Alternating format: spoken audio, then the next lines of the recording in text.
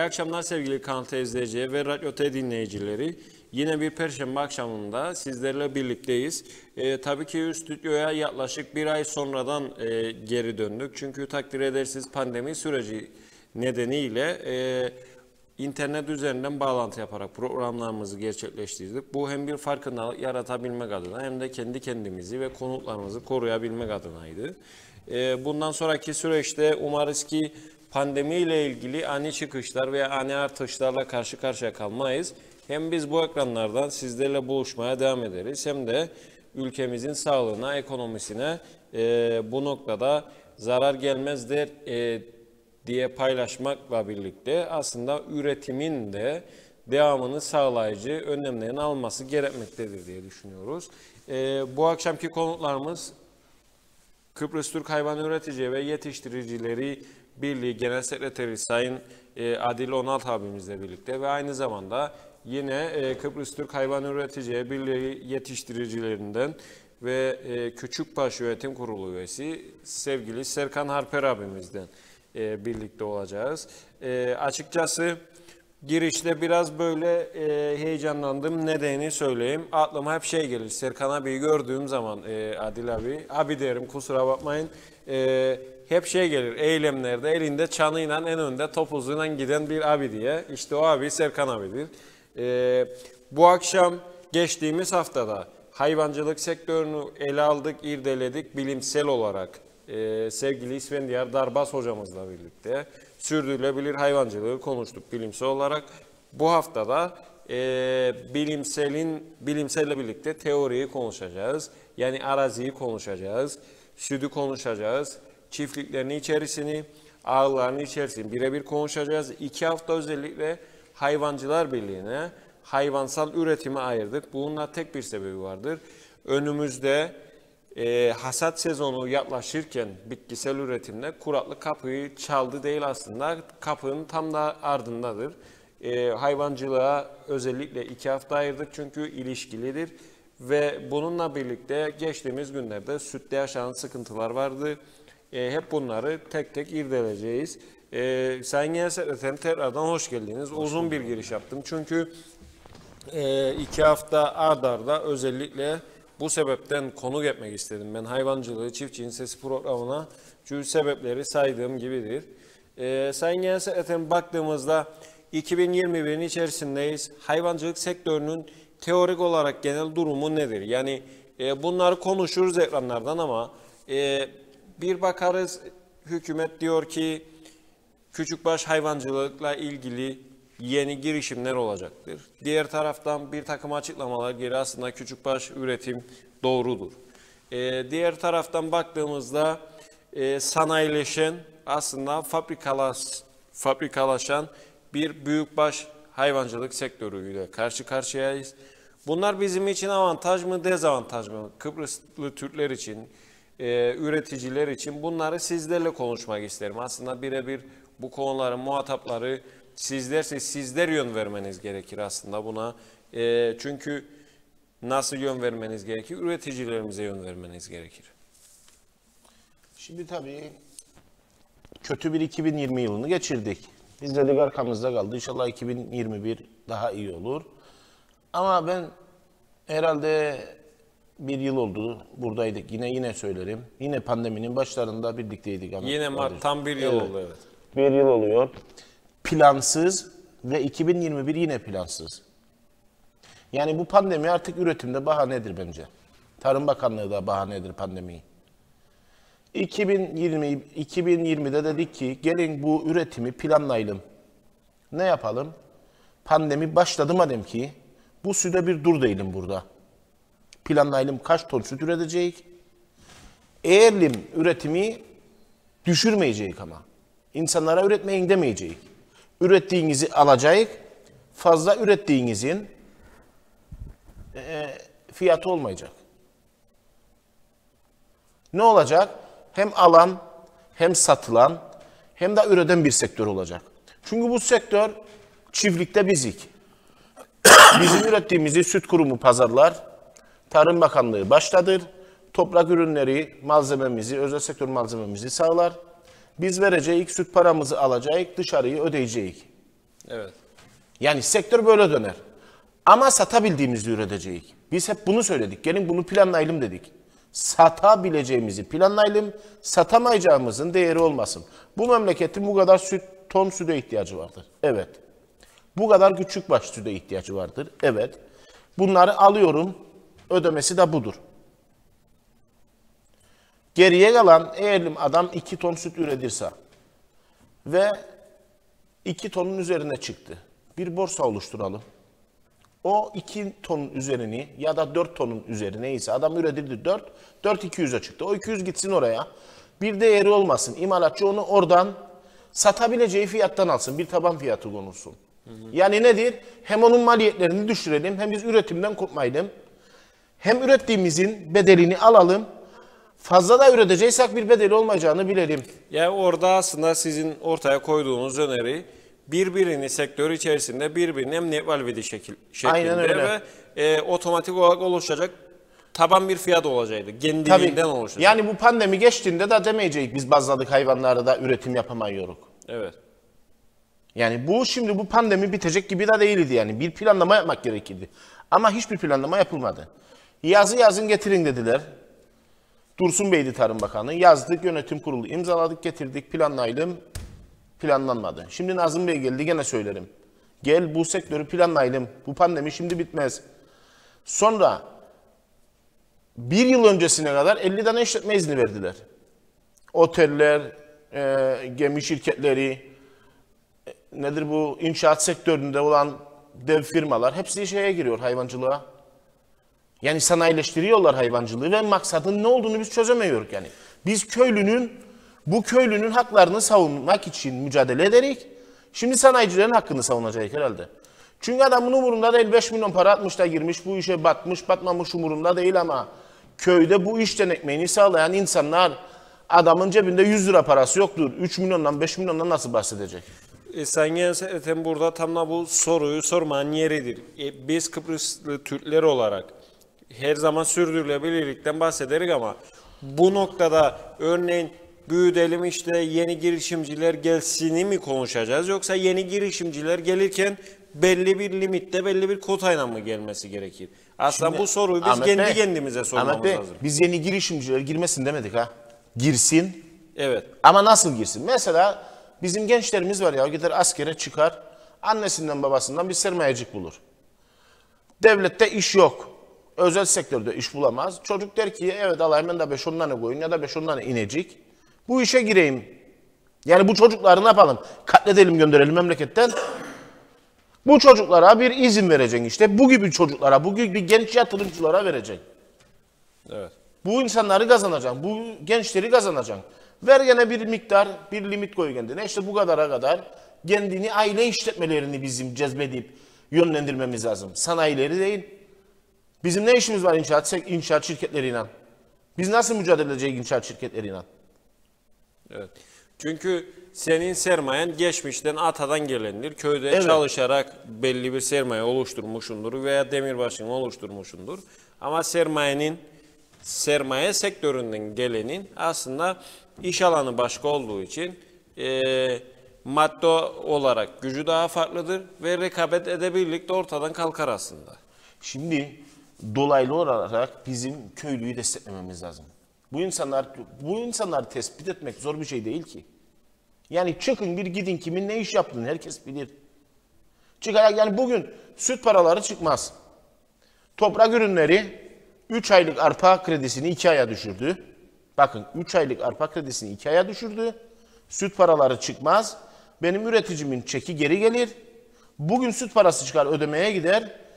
15 günlük faiz alır 1040 lira. Sen tefeci min be? Bu insanlar nasıl üretim yapacak?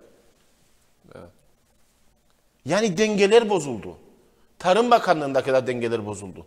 Bu hayvancı, bu çiftçi olmazsa senin Tarım Bakanlığın olmaz, hayvancılık dairesi olmaz, veteriner dairesi olmaz, senin hiçbir dairen olmaz. Ve bütün gün yatışta hiçbir denetim ve kontrol yok. Evet. Bugün hakkıyla işleyen bir tek süt kurumudur bence. Denetimleri tamam. Ee, tanker denetimlerini, giderler numunelerini yani. Tankerciler için gene bir şey demem. Süt alımları tamam, satışları onların da yani aksayan yerleri var mı? Ama yönetim kurullarının siyasi etik altında olduğunda hiçbir şey yapamazlar. Artık e, üretim sektörünün de kendi kurumlarına sahip çıkıp devletin de artık şeye vermesi lazım bunu üretim sektörlerine. TÜK kimin üretir arpayı, buğdayı? Çiftçiler. Çiftçiler Birliği üretecek, Hayvancılar Birliği alacak. İki yönetim orada, iki birliğin yönetimi kurulacak. Bu sektörü kendi yürütecek. Süt kurumu, imalatçı, hayvancı. Alınacak imalatçı, hayvancı o şekillendirecek. Evet. Bizim artık siyasetten ve siyasi atamalardan kopmamız lazım.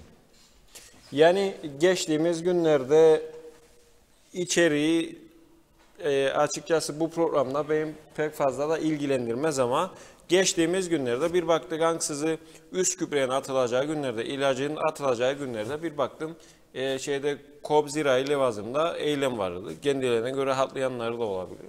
Ama sizin de dediğiniz gibi aslında gerçek sahipleriyle yür- yürütülmesi gerekir artık kurumların.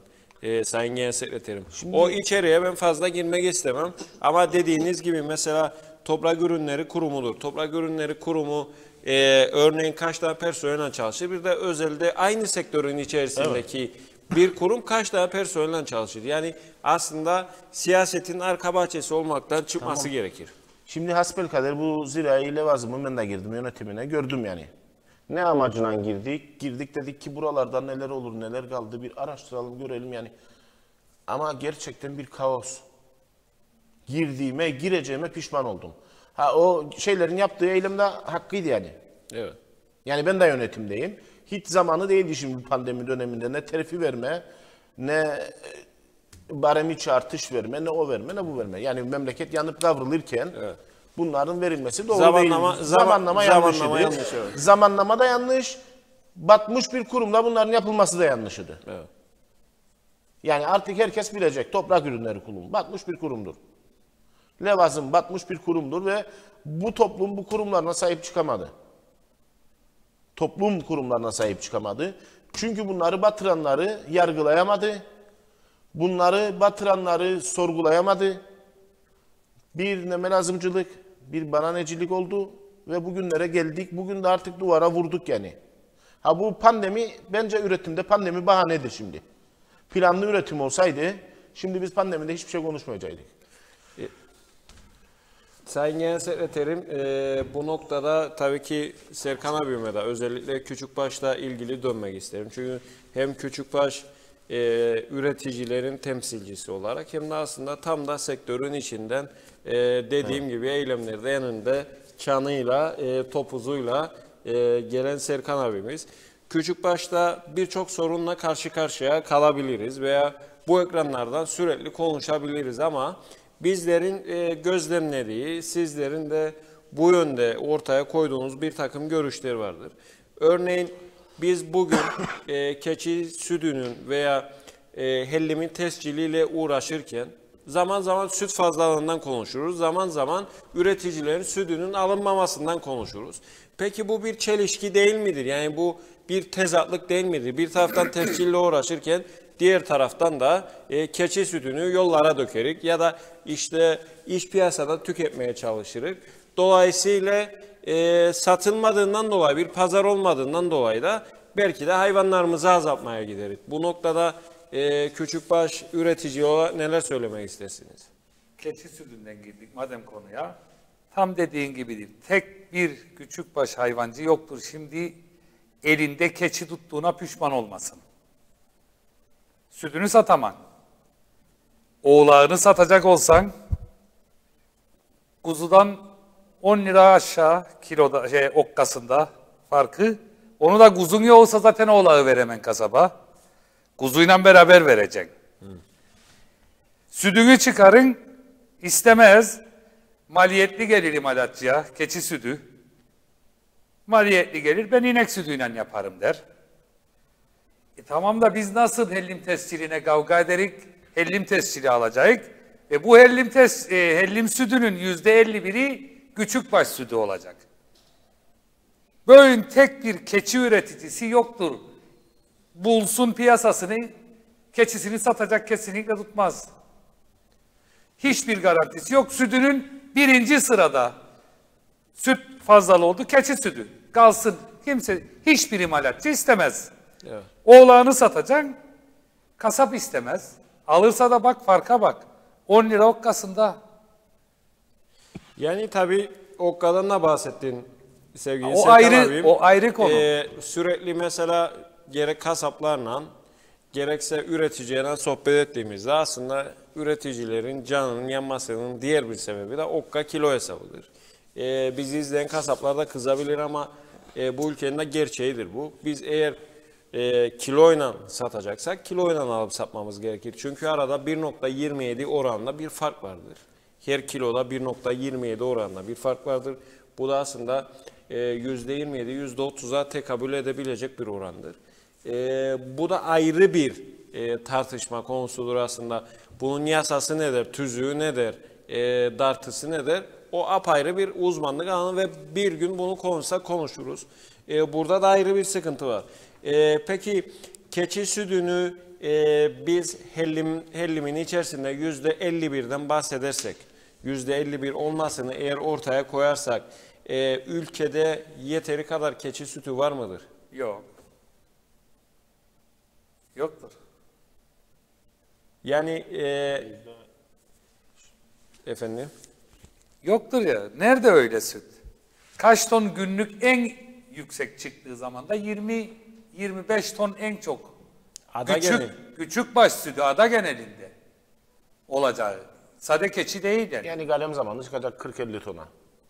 Çıkmaz ya çıkmaz o da çıkmaz. Yani- yoğurda gider koyun sütü hellime giremez. Sade keçi kalır gene şeyde. O da imkansız.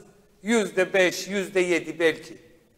Yani şöyle, e, farz edelim ki ihraç ettiğimiz hellimin oranı hesapladığımız zaman işte bu kadar ton ihraç edecek, bu kadar ton da keçi sütüne ihtiyacımız var. Matematiksel olarak hesapladığımızda yetmeyiz yani Yok olarak. kesinlikle yok. yetmiyor. Yüzde beş. Yanına bile yanaşmaz. E, bu Şimdi- da ayrı bir olay. Yani bu da ayrı bir olay. Şimdi olay nedir? Tarım Bakanlığı der ki işte küçükbaşa destek vereceğim. Küçükbaşı çoğaltacağım. Küçükbaş sütünü, büyükbaş sütünü öyle yapacağım, böyle yapacağım. Sen bunları konuşun ama yine planlama yok. Sadece bu yıl yani geçen 2020-2021 yılında 240 binden 245 binden 290 bine çıktı küçükbaş şeyi popülasyonu. Dışarıdan gelen 500 tanedir yani. Bin tane 500 açsa 500 ayvesi şey hibe 700-900 hayvan geldi. Sen burada dişi hayvanlara destek versen kendi içimizde zaten bu miktarı artıracaksın. Etimizde hiçbir sıkıntı yoktur. Kasaplar bağırır ya isterler ithalat getirsinler falan. Onda da hiç sıkıntı yok. Sayım yaptılar. Geçen gün fazla bile çıktı miktar. Yani bizim memleketimize yeten miktar. Sadece sıkıntı süpermarketlerden kasap reyonlarının kalkması gerekir. Bizim vatandaşımızın psikolojisi süpermarketlerdeki kasap reyonlarına göre çalışır. Gider oraya görür 120-130'u. O ertesi gün basında etin fiyatı 130 oldu. Hayır olmadı. En büyük kasap mesela bizim bölgede 85-90'dır. Yani Mesarya bölgesi kasapları 85-90. Lefkoşa'da en büyük kasap, en büyük kasap yani reklama girmesin diye söylemem. Bir sürü reyonu var 85'tir. Ve 50'ye alır. 50'ye alır kilosunu 85'e satar. Okka- şey, okkasını- okkasını, okkasını 50'ye alır kilosunu 85'e satar. Evet. Yani şeye de vurduğunda 39 gelir kilosu. Evet. Onu kurtarır da sizi kurtarmaz mı da 130'a satarsınız? Yani e, o pandemi bize onu da gösterdi. Bir daha hellimde mesela şimdi Türkiye'ye büyük ihracat var hellimde. Gidilir işte oraya. Buradan giderken belli bir destek verilir. Hellime 7 lira herhalde. Türkiye'de hellimin satış fiyatı dün bakanlıkta gördüm. Süpermarketten aldılar 90 TL. Buradan Türkiye'ye 35 liraya gider hellim. Türkiye'de 90'a satılır reyonlarda. Yani aslında bizde en büyük sıkıntı Türkiye pazarındadır. En büyük ambargo da oradadır. Bizim hellimimiz satılmasın diye 90 lira fiyat bulurlar. Benim inancım bu. Benim iddiam bu yani. 30 liraya aldığın 50'mi 60'a satsan Türkiye piyasası büyük bir coğrafyadır. Satılacak yani. E sen 90 liraya Türkiye'de kim alabilir 90 liraya hellim yesin? Sosyete ürünü değil hellim. Yani şeyde de e, Sayın Genel Sekreterim, ihraç noktasında ihracat teşvik primleri bunlar önce içinde geçerlidir. Hellim Hepsi içinde için, geçerlidir. hepsi- hepsi için. E, bunların da doğru şekilde yansıtılması gerekir. Çünkü zaman zaman öyle bir dönem geliyor ki özellikle Narenciye'de birebir görebiliyoruz bunu. E, ihraç teşvik primiyle Narenciye'yi üreticiden aldığım fiyatı hemen hemen denk geldiği zamanları hatırlarım ben. E, bu ne demektir? İşte ürünü beleş aldım sattım Şimdi demektir. Ahmet kardeşim zaten dengeleri bozan bizim bu dedikleri şeydir yani verirler bize derler ya destek destek destek destek. Bütün her şeyin dengesini bozan bu desteklerdir. Tarım Bakanlığı mutsuz, hayvancı mutsuz, e, üretici mutsuz, çiftçi mutsuz. Sorduğunda ben bu kadar destek verdim derim. İmalatçı mutsuz. Soran ben bu kadar destek veririm ona, bu kadar destek veririm. Ya ama kimseye yansımaz ki bu destekler. Şimdi sen Serkan abime de sen 50 kuruş arpa alıyorsun. Yedirir mi çıkarsın kuzuyu da versin 40 lira ya da 30 lira? Sen gaba yemi destekle, girdi maliyetlerini düşün, mazotu destekle, bizim girdi maliyetlerimizi düşür ki vatandaş da bilsin ne yediğini de, kaça aldığını da, kaça sattığını da. Sen bir etin reyonlarda satışını denetleyemiyorsun. Yani hangi etin hangi et olduğunu da anlamayan o şekilde kuzu eti diye olağı da alır. Zaten o o gerçek o öyledir da bu desteklerden tahminim benim kendi tahminim bu sanayileşme diye gidilmesi de. Adam fabrikatör ne işin var? Otelleri var. Senin hayvancılığına ne işin var? Hepsi hayvancı oluyor. İlk ineğe girdilerdi. Şimdi başladılar küçük başada. Yani köylünün işi olan bir hayvancılık yavaş yavaş sanayiye geçiyor. O da sanayileşiyor. Adam sütünü bir de kendi işlerse düşün ihraç da ederse ben onunla nasıl yarışacağım? Yarışamayız çünkü e, sanayileşen bir sektör haline geleceksin. E, örneğin sen kaba yem noktasında veya girdi maliyetlerinde yem noktasında sıkıntı çekerken e, o diğer sektörlerde olduğu için e, oradan gelecek olan parayla veya sermayeyle aslında kendi girdi maliyetlerinde hiçbir sıkıntı Belki- yaşamayacaktır. belki de- Ama sen mecbursun. Satasın kuzunu da ödesin yemini. E, büyük bahçeden mecburdur. E, satsın bir cez tosun da ödesin yemini. Yani- İşte burada da her zaman aynı şeyleri söyleriz ama söylemeye de devam edeceğiz. Çekinmeden sürdürülebilirlikten uzak politika izlediğimiz sürece bizler de bu ekranlardan bunları gündeme taşımaya devam edeceğiz. E, çünkü önüme bir iki tane daha not aldım e, programın öncesinde. Bu tip e, politikalar geliştirmediğimiz sürece sıkıntı yaşamaya devam edeceğiz. Örneğin KBM'de girdi maliyetlerini düşürebilmek için ve e, aslında kuraklığın da bugün yüz yüze kaldığımız bu günlerde e, sano biçimiyle ilgili teşviklerin e, aslında değerlendirilmesi gerekir artık. O- Acilen. ortaya konması Acilen. gerekir. E, çünkü zaten e, üretici zor durumdadır. Geçmiş dönemden özellikle hayvancı zor durumda geçmiş dönemden gelen ve doların yükselmesinden kaynaklanan yem fiyatlarının yükselmesiyle birlikte zor durumdadır. Sano biçimiyle de üreticiyi rahatlatabiliriz. E, buna yönlendirmeyle yapmamız gerekir. Teşviklendirmeyi e, belirleyip ortaya koymamız gerekir. Yani şimdi, şimdi vakit geçerse zaten bir güneş daha yer bu şeyler bir şey bulmacayı biçelim. Zaten bizde olmadı yani. Biz Böyle bile gene bulamayacağız. Ha, ama eğer bırakırsak da gurur ve geç kalırlar açıklamaya. Çünkü millet ne der? E, Açıklamazsa ben ne vereyim der biçilsin tarladan sonra bir şey almayayım. Evet. Şimdiden açıklarsa ama herkes dönecek, icat edecek, bir şeyler çıkarsın diye uğraşacak.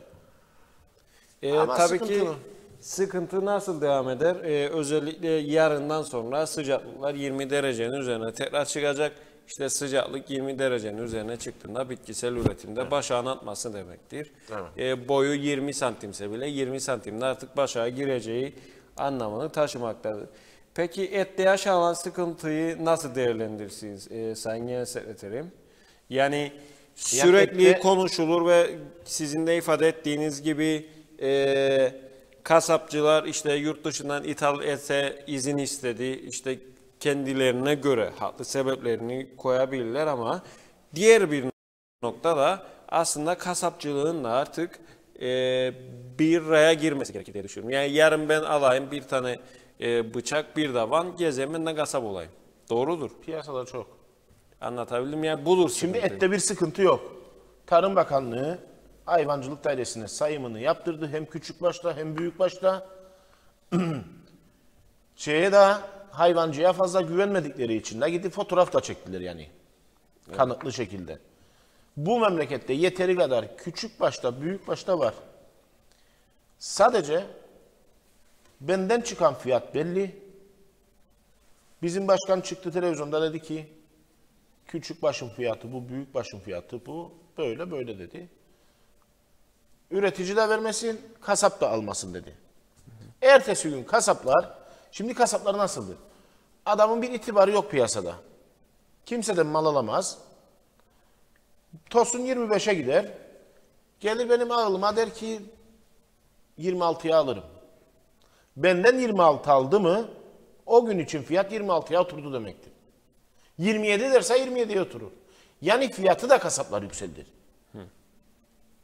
Fiyatı da kasaplar yükseldir. Ama esas sıkıntı kasap gelir alır benden 25. Dükkanına mal eder 50, 55, 60 neyse. 130'a 100'e alır benden süpermarkette gelir alır kasaptan. Yani hem cambaz gor hem Lefkoşa'daki kasap koyar, bir de süpermarket koyar. Yani benim malımdan dört kişi paydaştır. Yani aslında şey de vardır. Tam da üstüne bastınız. Direkt kasap da gelmez. Cambazlar Cambaz da, gelir, cambaz. Cambazlar da çoğaldı. Evet. Yani e, O iş tüketiciden de biter. Sen de gidip marketten almayacaksın etini. 130 lira fotoğrafını çekip de internette yayınlamayı bilin. Ama gerçek kasaba gidip de 90 liraya etin ol, bulup da alasın, alaman yahut da görmen. Evet. Git kasaptan al. Markette etin ne işi var? Yani o yasal düzenlemeyle düzenlenebilir ama geçtiğimiz günlerde yaşadığımız bir örneği söyleyeyim. Ben size ekranlardan da söylemekten çekinmeyeceğim. Ee, babam da küçük başta uğraşır. İşte bir iki tane sapmayı isterdi. Yemleridir, şudur budur. Cambaz geldi. Kasap değil cambaz geldi. Ee, çocuk bildiğiniz cambaz yani. Ee, genel sekreterim Serk abim. Yani böyle hani bir ipin üstünde oynar dersiniz ya o şekilde. E, ismi cambaz Ee, çektiği şey telefonu öyle hesaplar, böyle hesaplar, öyle olacak, böyle olacak. İşte şöyle girdi konuya. Gözünüz kaç okkadır bu şeyler, e, bu hayvana bu kadardan alayım. Bu kadarı da söylemez. Yani okkasının kaç alacağını da söylemez. Kaç okkadır der bu. İşte bu kadar okkadır. E, en kaçtan alacaksın okkasını? E, bekle de o birini de kestirelim de hepsine kapatma bir fiyat verelim. E, ya e, yani yanlış anlaşılmak istemem ama üretici de yemini alırken dartargen gözlüğüyle da işte kapatma bir fiyat verir. Yani bunları da ortaya koymak gerekir artık genel sekreterim. Yani birbirini emniyet valvidi haline nasıl sokacağımızı da ortaya koymamız gerekir. Yani e, hal yasasını konuşuruz sulu ziraatta, sebzecilikte. Belki de buna benzer bir modelin kasapçılıkta yani e, et sektöründe de uygulanması gerekmektedir. Şimdi Ahmet'in memleketin dingili koptu zaten. Yani şimdi bu son yaşananlarda biz zannederdik bu hastalık bahane olacak. Kıbrıs Türk'ü kendine kenetlenecek, sarılacak, birbirine sahip çıkacak. Vallahi daha kötü oldu Kıbrıs Türk halkı. Ben yaşayayım ölen ölsün havasındayız şimdi. Ben de olsun başkasında olmazsa olmasın havasına girdik. Yani memleket değişti, memleket daha sıkıntılı oldu. Bilmem yani nasıl geçecek bu günler ama zor yani üretim sektörü için zor. Hayvancılık olarak çok Hayvancılık olarak daha zor. Tabii küçük başın sıkıntıları daha çok.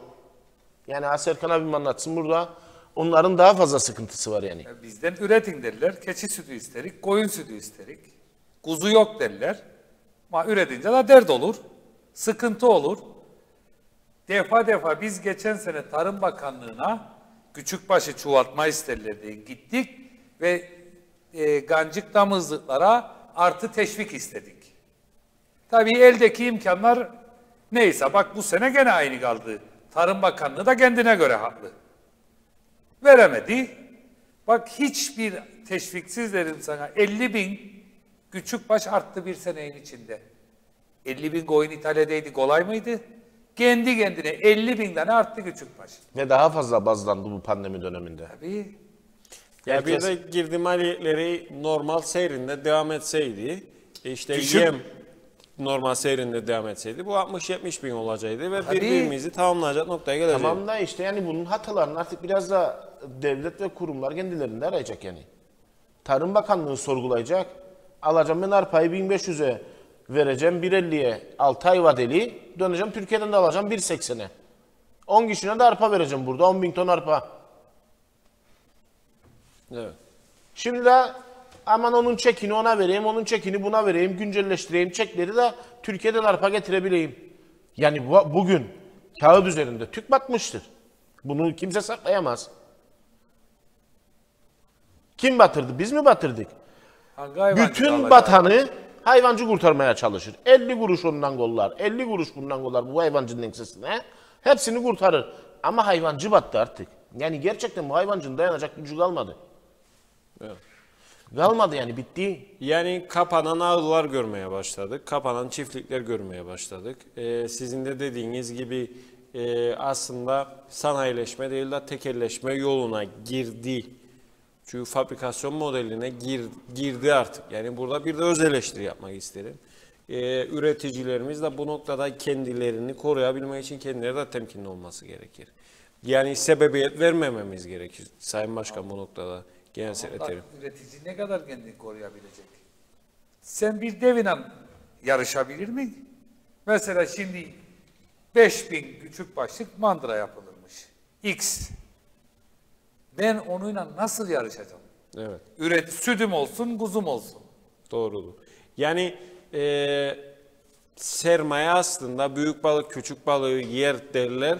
E, o noktaya geliyor hayvancılık sektörü benim anladığım. Ya şey hayvancılık sektörü en güzel para yaklama sektörüdür. Yani ben onu söylemek istemedim Şimdi ben ekranlarda söyleyeyim ama. ki benim korkum yoktur. En güzel para yaklama sektörü hayvancılıktır. tamam. Getir parayı dök hayvancılığa. Bir ay sonra zaten süt parası temiz şeklinde eline gelecek. Ne girdisi çok, kazancı az. İstediğin gibi sektörde oyna. Yarın git 100 lira gider tarla, 200 ver al tarlaları. Bala 50'dir, 100 ver dolduran barları bala. Bu adam, bu insanlar ne yapacak? Çoluğu çocuğu ne yapacak? Köylü ne yapacak? Bizi zaten o yolun altını, Mesarga dedikleri yolun altı var ya bizim bölge. Aslanköy, Turunçlu, Paşaköy. Burası mahrumiyet bölgesidir 45 yıldır. Verildiydi verileceğiydi hatta bizi hayvancılığın içine. Sadece herkes bir bok üretim tesisi yaptı. Bol bol bok üretirik, ovaları bok doldurduk. Bak gübre yani bok. Hayvan gübresi. Başka da hiçbir şey yapamadık ya. Bir adım önüne gidemedik. İki tane fabrikadan başka fabrika yok bölgede. Başka bir şey yapamadık yani. Bu insanları koyduğumuz buralara sana hayvancılık yapsın, üretim yapsın. Ne getirin şimdi bana? Ne otelcisi kaldı, ne inşaatçısı kaldı, ne gemicisi kaldı. Duyarık yani bunları. Tarım Bakanı e, bu insanlar üretmesin mi? Ve kardeşim bu memlekette destek alacaksan bir kalemden alacaksın. Hem otelcilikten destek alacaksın, hem hayvancılıktan destek alacaksın, hem kasapçılıktan destek alacaksın. Olmaz böyle bir dünya olamaz. Bu yüzden biraz önce söylüyorum. Bu desteklerin kalkması lazım artık. Evet. Adamın elektriğine ver, mazotuna ver, arpasına ver. Bir yerlere ver, arpanın da fiyatı belli olacak. 300 ha 3 tür destekleyeceksin. Sınırlı destekleyecek. Süte de vereceksen Tabii sınırlı. tabii sütüne de. Bu bir teşviğinde olacaksa sınırlı.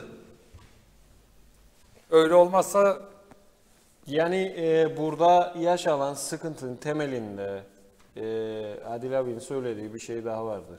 Evet. Güney Mesarya işte sürekli pazarlık konusu oldu. İşte hayvancılığından geçinin tedavara bakalım ne yapacak. Aslında biz devlet olarak kendi kendimizi e, tam anlamıyla da e, ispatlayamadık. Yani ne yapmak istediğimizi de bilmeyik. E, bunun sebebi de yani bugün konuştuklarımızın sebebi de odur. E, örneğin sizin ifade ettiğiniz gibi X bir şirkete e, hayvancılık izni verilirse işletme izni verildiği zaman işte Serkan Harper'i de bitirin, Adil 16'ı da bitirin. Çünkü adamın sektörü başkadır ve oradan oraya sermaye akışını sağlayacaktır. Yani ayakta duramaz, yarışamaz.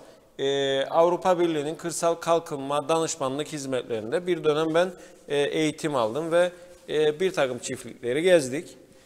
Çiftlikleri gezerken merak ettim ya. Bir tane Küçükbaş çiftliğine gittik. Yani e, böyle Avrupa standartları üzerinde. Dedim helal olsun bu üreticimize. Çıkarken sordum kimindir dedim bu çiftlik.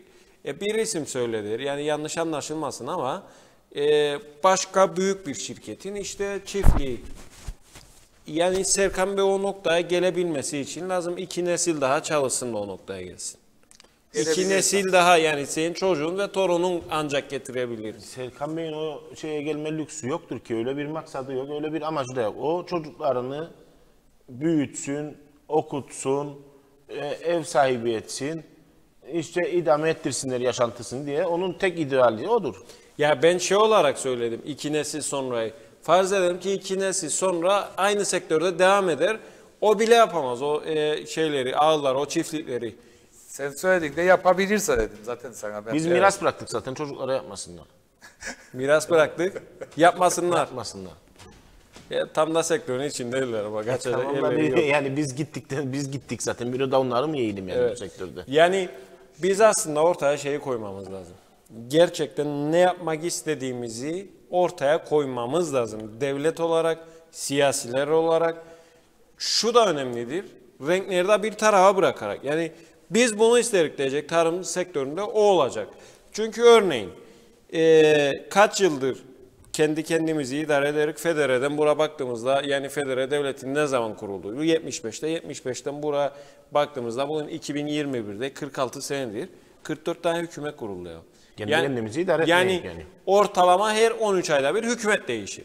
Şimdi e, az önce bahsettiğiniz işte geçtiğimiz yıl Dursun Bey'di dediniz. Bugün Nazım Bey geldi. E, belki de 6-7 ay sonra başka bir Tarım Bakanı. Tamam. Olabilir Bu bakanların başlattıkları projeleri biz devam ettirmezsek ve her 6 ayda yeni projeler işte test sektörü anlasın Tamam. bakanlığı Daha bitti, hiçbir gitti. proje yok ki biz devam ettirelim. Yani hiçbir proje görmedik biz. Projeyi biz yapar götürür yine olmaz. Sana diyorum ki gel bu işi planlayalım. Bu memleket kaç ton süt ister? Ne kadar kuzu ister? Ne kadar koyun ister? Gelin bu işleri bir planlayalım, oturalım. Böyle bir şey yok. Komite kurarız her hafta. Komite meydanda yok. Yani e, şöyle de yorumlamak isterim. Aslında bu söylediğim bugün için, dün için değildir. Kıbrıs, e, Kuzey Kıbrıs Türk Cumhuriyeti'nin genelinde, kendi kendimizi yönetmede e, sizin ortaya koyduğunuz projeleri de tev, e, örneğin müdür müsteşarı atayalım da işte bakanlığa alışalım. TESE'nin projeyi de anlayalım biter gider yani. Çünkü ömrümüz 13 aydır. Sayın Genel Sekreterim. Bizler artık bir şeyleri konuşmamız gerekir. Yani nasıl kendi kendimizi yöneteceğimizi biz ortaya koymamız gerekir. Çünkü evet eee, Kuzey Kıbrıs Türk Cumhuriyeti'ne bu söylediğim biraz siyasidir ama eee, görüyoruz özellikle tarım sektörü bunu birebir yaşıyor. Çünkü örneğin Tarım ve Doğal Kaynaklar Bakanlığı bütçesinin içerisinde bana sorarsanız ihracat teşvik primlerinin yeri olmaması gerekir. İhracat teşvik primi dediğiniz anda sanayi akla gelir. Yani ekonomi akla gelir. Ekonomi Enerji Bakanlığı'nın altında olması gerekir. Ha, genel bütçenin içerisindedir. Kabul ederim ama en azından bu yandan da tarım ve doğal kaynaklar bütçesi dersek 200 milyondur. En azından bilecek ki o 200 milyon belli bir oranda hayvancıya, çiftçiye, üreticiye yansıyacaktır. Ee, O ihracat destek primlerinin de tek suçlusu Tarım Bakanı'dır. Ve Tarım Bakanlarıdır. Eğer sen planlı üretim yapsaydın o ihracat destek primlerini vermezdin şimdi. evet. Sen hiçbir şey planlamadın. Bak hiçbir proje yok. Proje. Sen bir proje yapacaksın, koyacaksın diyeceksin ki benim bu memleketimin süt tüketimi bu kadardır. Hayvancılar Birliği'ne diyeceksin ki ben sizden bu kadar süt üretmenizi isterim. İmalatçılara da diyeceksin bu kadar sütünüz vardır hazırda. Bak bu bir plandır. Bir şemadır bunu koyduk ortaya. Bunu altını doldurabilin. 20 ton fazla 20 ton eksik bir şey olmaz o. Ama bir sektörde 200 ton fazla süt olursa ihracat destek primini vereceksin. Mecbur. Bu 200 ton 300 ton olacak 400 ton olacak. bu gidişinle 500 ton olacak. Ben söylerim neden derim yani bu firmalara bu işletme izinlerini verirsiniz. Vermeyelim üretime ihtiyacımız var. Satılmadığında ne olacak? Ben çok kez Ahmet'im şey buzlukları, buzluklar dolu insanlar inek sağamaz. Evet. Biri telefonda arar, o biri telefonda arar. Benim sütüm ne olacak, benim sütüm ne olacak? Adam 40 litre keçi sütü sağacak, keçi sütünü almayacaksın. Var mı böyle bir dünya? Bir de diyeceksin memlekette küçük başı destekleyecek, küçük başı kalkındıracak, küçük başı öyle yapacak. Ne yaptın mesela bu insanlara? Yani çelişki tam da bu noktadadır. E, mesaj da gelir şeyden. E, hem sosyal medyadan e, hem de özelden gelir. Onlara da ara ara bakarım o yüzden e, telefona bakarım. Çelişki tam da bizim söylediğimiz gibidir. Bir taraftan derik küçük başı büyütmemiz gerekir. Aslında küçük baş teşviksiz e, kancık dediğimiz aslında damızlıklara teşvik gelmeden kendi kendini e, modere edebilir ve gelişebilirinin ispatıdır bu. Evet. Diğer taraftan süt, küçük baştaki süt artarken bir baktınız süt elinizde kaldı. E diğer taraftan da uğraşırken elimin tesciliyle Rum tarafıyla kavga edilir, Avrupa Birliği'yle kavga edilir. Yani sonuç olarak nere varacağımızı belirleyememiş durumdayız şu an. Şimdi elinizde kaldı değil süt. Süt dengesiz bir fiyat farkı var. Bakın. inek sütü olmazsa davar sütü olmaz. Davar sütü olmazsa inek sütü olmaz. Şimdi bunların yaptığı nedir? Küçük başçı, büyük başçı. 2 tonun altı, 2 tonun üstü bir kavga, bir e, kaos yaratmaya çalışırlar ki hiçbir zaman bu denge kurulmasın.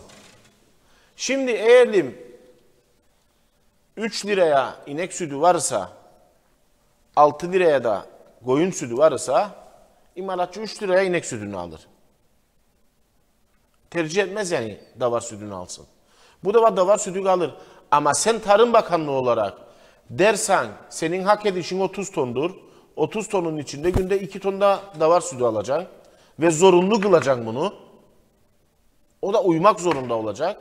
Bugün davar sütü de alınacak. Diğer taraftan da eee büyük baştaki süt dengesi de ortaya çıkacak. Kendiliğinden sizin söylediğiniz şekilde. Büyük yani baştaki denge emniyet, emniyet valveti o olmayacak mı? Büyük başta hiçbir zaman ne emniyet belbide olur ne hiçbir şey. Büyük başta kotalama sistemi geçmezse bu sistemin önüne geçemeyin. Kotalama Aynen ona katılırım. Büyük başın sütü çuvaldık sonra küçük başın sütüne zarar olur. Zaten bakanlık ya da kurum ikide bir de sütler kalır buzluklar dolu. Onu imalatçıya verebilmek için bin kılığa girerler. Nasıl mecbur edecek küçük başı da al değil. Bu defa kalır o da. Tabii sıkıntı keçi sütünde yine derim. Ha, koyun sütü kalmaz. Koyun sütü kalmaz o yoğurtta gider. Sıkıntı yarın- keçi sütünde. Keçi sütü. Aynı sıkıntı kuzuda da olacak. Bak e, Allah'ın yardımıyla diyelim. İki sene iyi geldi. 50 bin küçük baş arttı. Sen 5 bin tane getiriyorsun. Bin tane getirdin. E, o 20-30 bin de sanayicilere ve izin verirsen getirsin. Oldu mu 80 bin? Gelen sene bizden de artarsa 70 daha. Biz ne yapacağız? Bunun sütünü ne yapacağız? Kuzusunu ne yapacağız? Gelen sene kuzu 25 liraya düşerse okkası o zaman ne olacak? Yani hep çarpıktır bizim politikalarımız. Son 1-2 dakikaya yedik. Rejiden uyarı geldi. Nasıl çarpıktır? Şunu ifade edeyim. Narenciye de örneğin Greyfoot'tan King Mandarin'e dönebilmemiz için teşvik verdik. Tamam. Şimdi ne oldu? King Mandarin fiyatı başlar sallansın ve daha da alttan gelmeye başlar. Yani o yeni fidanlar ya da gençleştirdiklerimiz ya da aşıladıklarımız gelmeye devam eder. Yani ilk 5 yıl içerisinde daha da gelecek. Belki de rekoltede 5000 ton daha fazla gelecek.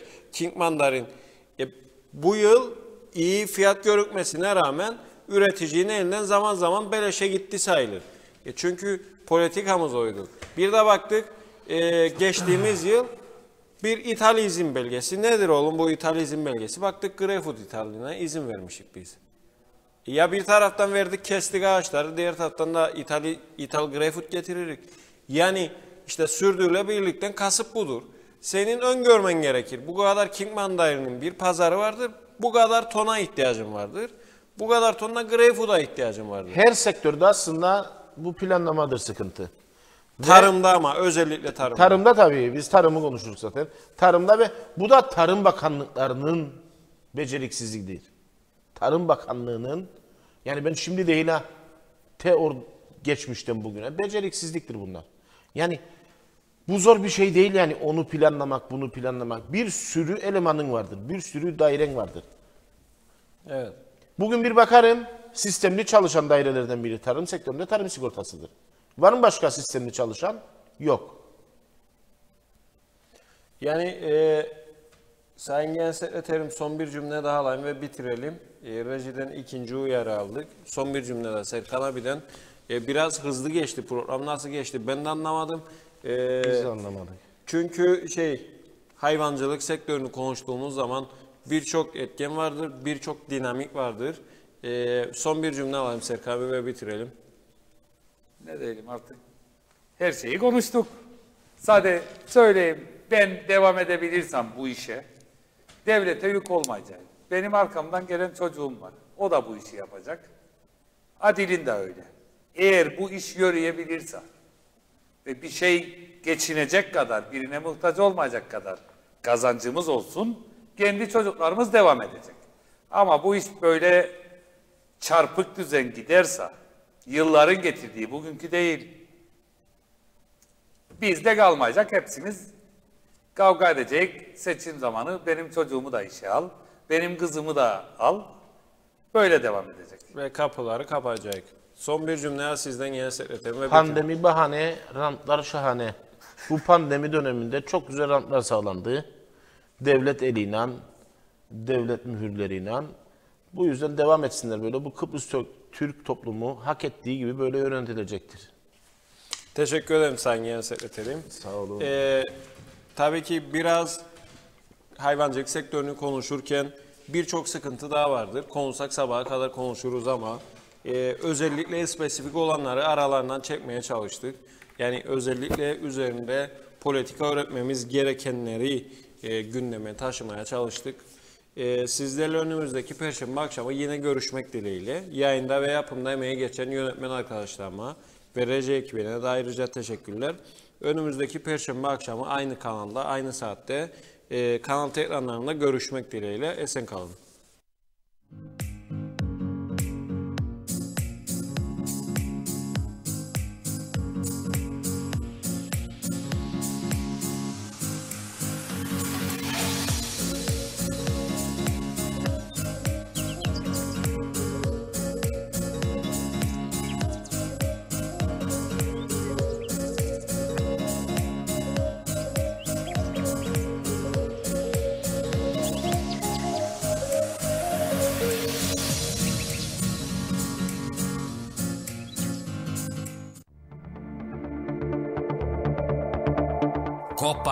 Çiftçinin sesini sundu.